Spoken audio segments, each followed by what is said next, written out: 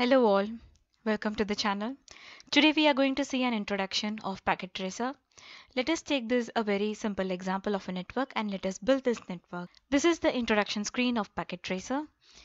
This is empty area where you can do all your networking design and these are the different components where you can find routers, end devices, switches, connections, etc. And once a component is clicked, you can see the different types of components are there. So I have selected routers. These are the different types of routers. And these are the panels which we can use for further actions.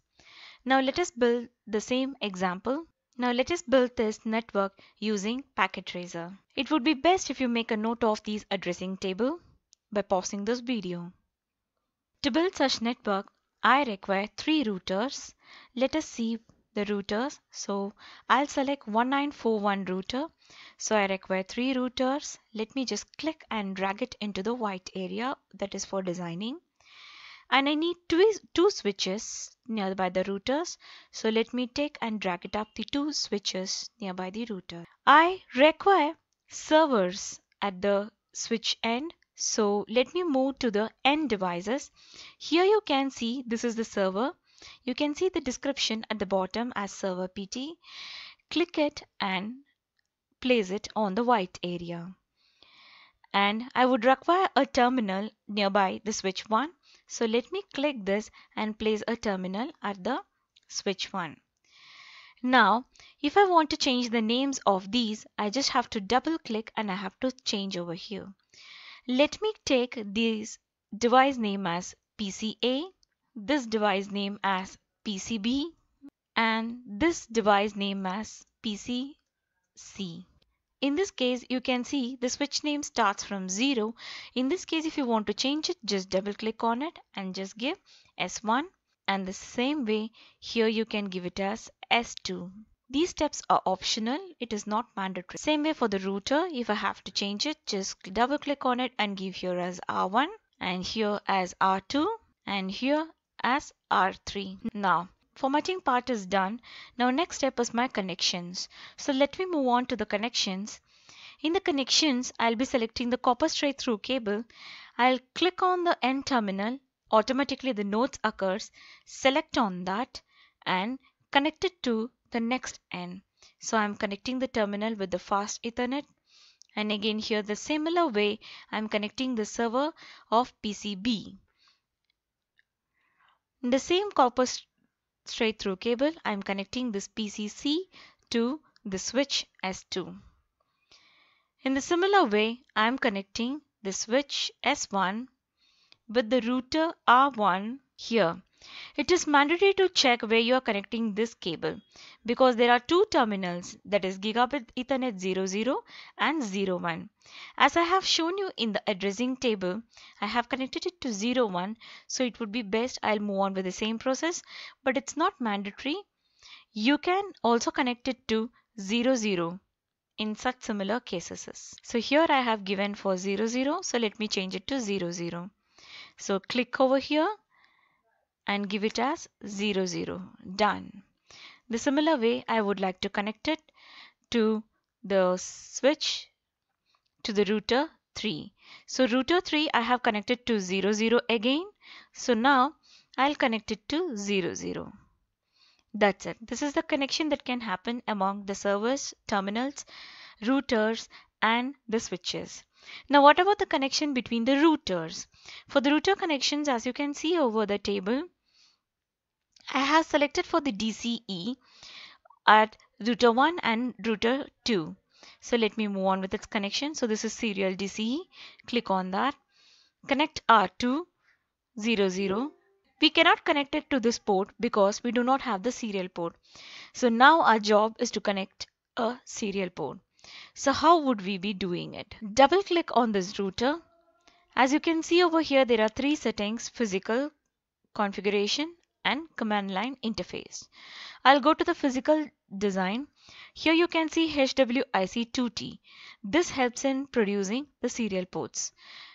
So click on this and drag it. Again, you will get an error message that you have to switch it on. So when the router is on, we cannot do any changes. Therefore, switch it on. Drag this, and switch on again. Similarly, produce for R2, again switch off, bring the terminal ports, switch it on. Same for R3, switch off, bring the terminal ports and switch on. So we have created serial ports for all the three routers. Now we can use this serial DCE to connect the routers. As you can see, for router R2, I have used 0, 1, 0. And the similarly at the router R1 end, I have used 0, 1, 0 for connections. So you can see click on this 0, 1, 0 and you can click over here 010. It is not mandatory that they have to be same. You can select any serial ports, but I have already designed an addressing table. That's the reason I'm using the similar numbers. Now make the same similar connection. Let us check for the R2. R2 it's 011. With R3 it is 010. So select only one serial port is left. 010. Done the connections are made. But still it is not the end. You have to do the addressing tables. You have to give addresses to every terminals in this network. Now, let us start with the terminals. Now I'll start with the addressing of PC that is R1. Click on this. You will get again four tabs physical, configuration, desktop information, custom interface. Now let me go to desktop where it would be easy for me to give the addresses. Now click on this IP configuration. So you can see there are two types. One is for the version 4, the other is for the version 6. Version 4 is the default one. Let us move on with the version 4. In the further practicals, we will be seeing about the version 6. Now, IP addresses. We'll move on with the addresses. For PCA, I have selected the address as 192.168 1.1.5 and subnet mask I had selected the same. Default gateway. Default gateway would be the router's address. Still I have not set the router's address. Let me keep it empty over here. I'll come back to it later. Now similarly for PCB desktop IP configuration for PCB I have selected the address as 192.168.1.6. Subnet mask should be the same. Again, default gateway would be the router's address. I'll come back to it later. Now, address for PCC. Desktop IP configuration. Again, for PCC, I have selected the address as 1.192.168.3.5. Subnet mask should be the same. Here, this would router address will be different from the router of the PCA and PCB. PCA and PCB will have the router address of R1 that is for the default gateway and for PCC the default gateway would be the address of router R3. Now let me come to this point again later. So now all my terminals are set. It's ready except the default gateway.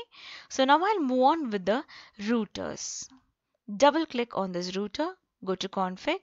Here you can see the ports at the bottom that what all we have used. So as you can see, I have used 00. 0. So at 00, 0, I have to give the address that is 192.168.1.1 subnet mask the same subnet mask to be kept which I had kept for the servers or the terminals and it's mandatory to keep this port on then it would be activated now my gigabit 00 is done. So next job is 010. So 010 will be having this address that is 10.111, 255, 255, 255, 252. So let me give this address, switch on the port 10111, change the subnet mask 255, 255, 252 done. Now next I have to check it for the router 2. Let me click on router 2 config. Router 2 has only the serial ports. So now I'll select the first serial port, click it on and give the address as 10.1.1.2. subnet mask, I have to give the same subnet mask which I have given for the router 255, 255, 252. Next, I have to select the serial port of 011 which is connected to the router 3.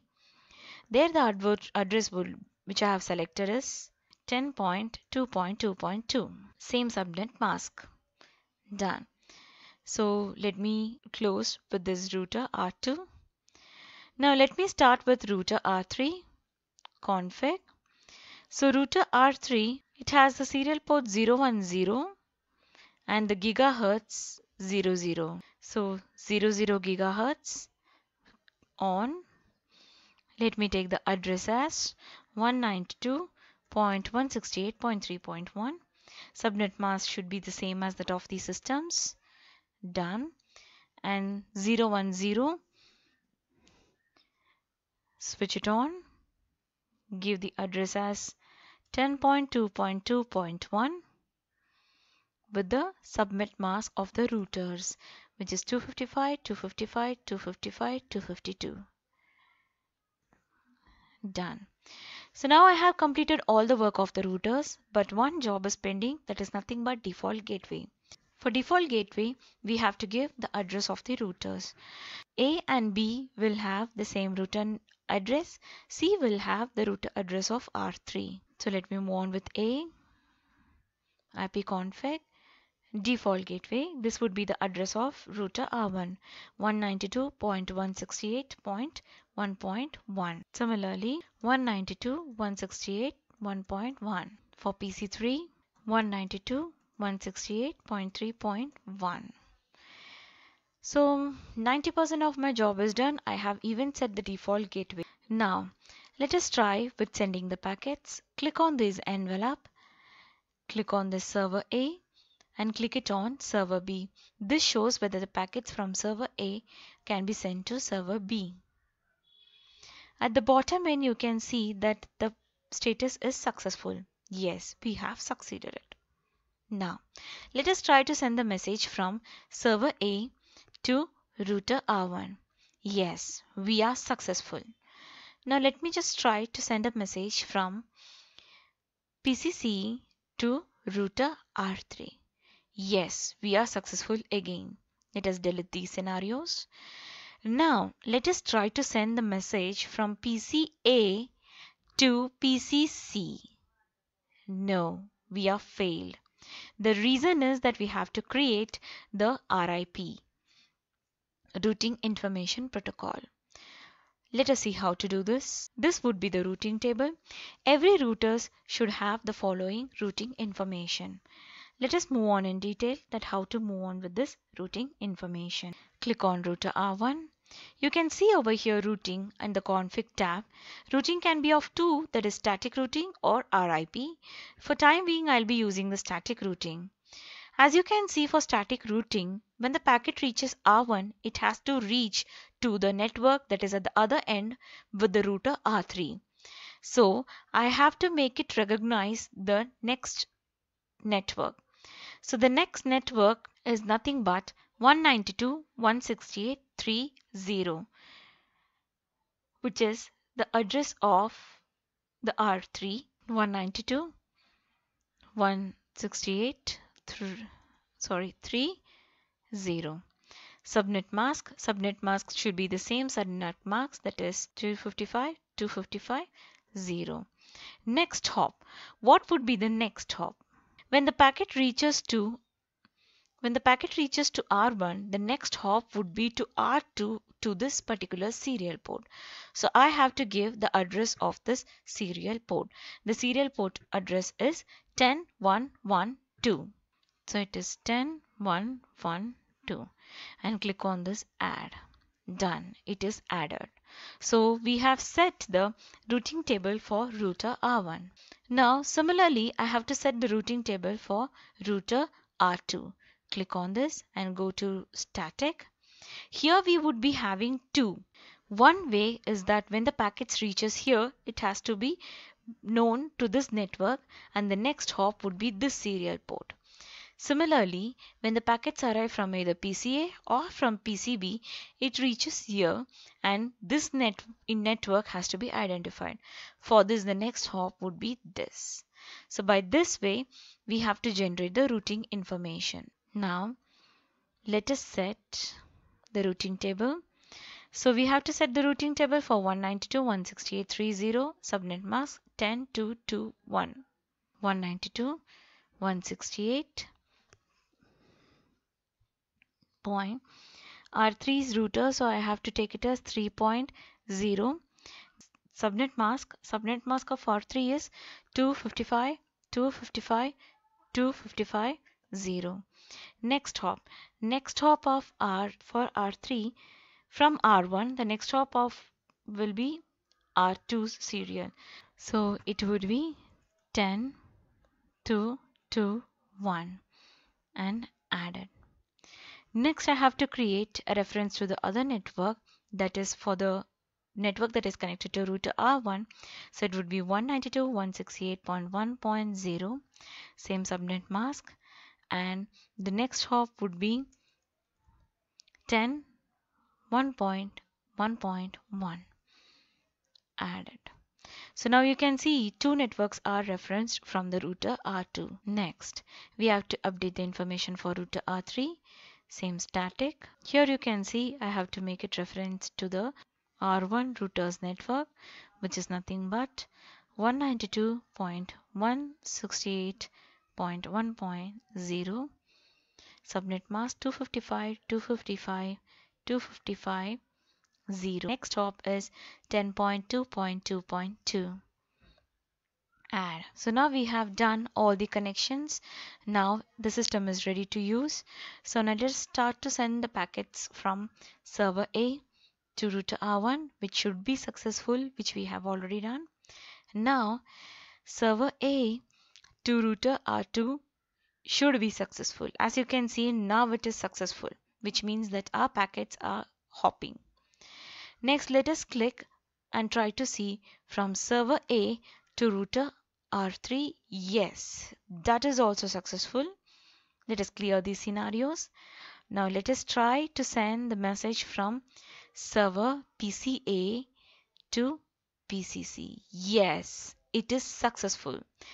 Thus our packets are successfully routing. Now let us try from server that is PCB to R2 successful. PCB to R3 again successful. From PCB to PCC. Yes, it is successful. That's all guys. We have seen an introduction session on how to do the connectivity. Now in the further topics, we'll be seeing about packet tracer related to security in computing. Thanks all once again. Do not forget to like, comment and subscribe. Thank you.